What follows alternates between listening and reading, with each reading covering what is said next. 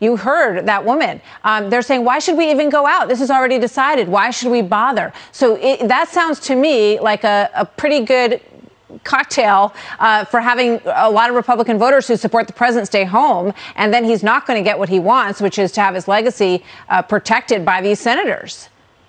Well, look, I still think that uh, the president will get four more years in office. I think it'll be the next four years because this thing is far from over. Lara, you just but had certifications today in Arizona, in Georgia, in Wisconsin. You heard well, Geraldo moments ago look, say, you know, it's time to accept the outcome of this. What what are you seeing or hearing out there that that he is not? Well, those certifications are just procedural steps, and the reality is the Electoral College does not vote uh, in in their states until December 14th. Mm-hmm. Uh, Congress doesn't actually certify anything until the beginning of January, so we've got plenty of time sadly, we have become accustomed to having to work twice as hard, three times as hard as a normal candidate or normal campaign. Uh, but we're we're prepared for this, and we're prepared for the fight. We believe. So that was Lara Trump, not only the wife of Eric Trump, but a spokesman for Donald Trump's 2020 campaign. And she was so delusional and embarrassing and pathetic in that clip even the Fox News anchor, she was like, You gotta be kidding me.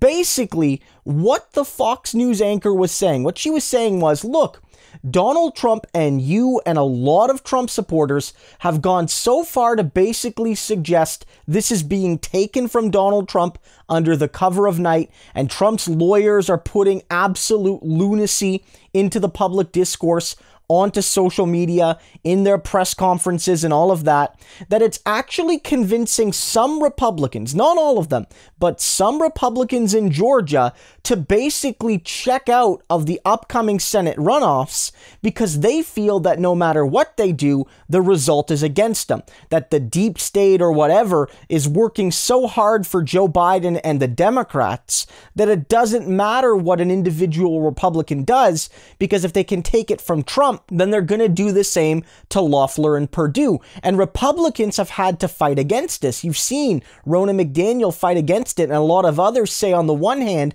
that yes, we're going to continue to feed Donald Trump's baseless claims, but on the other, suggest that everything is fully undetermined and that your vote counts and this election will be purely legitimate. And they can't square that circle. They can't fit that square into a round peg. They can't do it. And so they're poisoning not only the broader democracy, but their own particular base and potential electorate in the very important Senate runoffs in Georgia.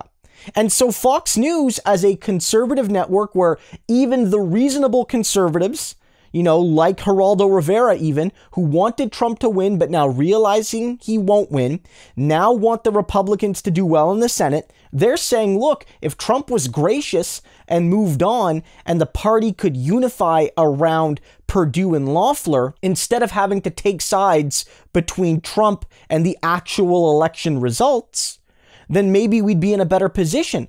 But this whole conspiracy has created a situation where the Republicans are on the back foot. And all Lara Trump can say to this, she doesn't own up to this. She doesn't own up to the fact that she's hurting democracy and maybe even her own party. All she can say is, well, I still think there's going to be another four more years of Trump. Absolute lunacy, guys. Lunacy to the core. This it's over. And what she's suggesting even if it worked, would be an unabashed destruction of democratic norms in the United States. It would effectively be the end of American democracy. Because she's saying, okay, well, certifications are just these routine things, which is BS, because Trump and his lawyers have been fighting these certifications tooth and nail in every state they can. But put that aside. Put that aside. What she's saying is, well, the Electoral College hasn't voted yet, and the House of Representatives, the you know the Congress, they haven't you know certified the results either.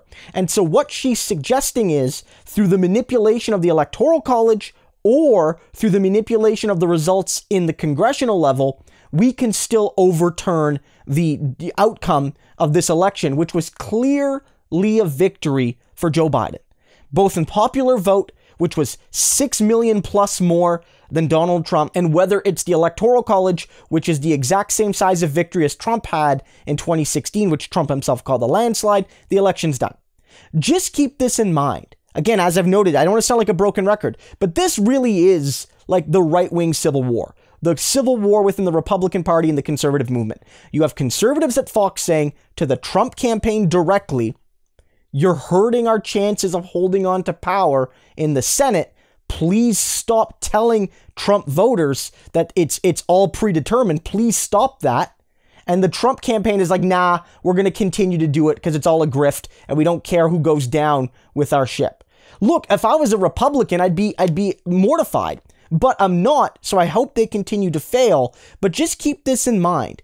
The Trump campaign, they don't even care about their own party and their own base. They truly are self-interested monsters.